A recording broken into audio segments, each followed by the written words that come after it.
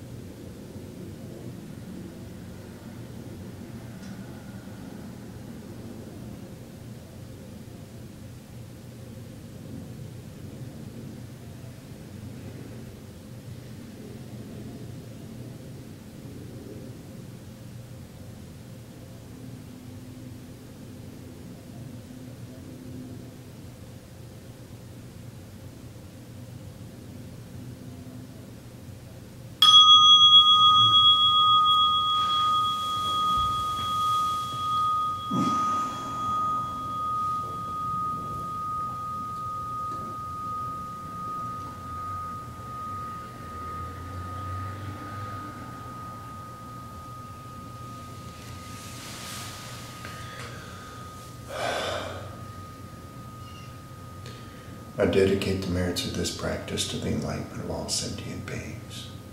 May God bless us and keep us and give us peace.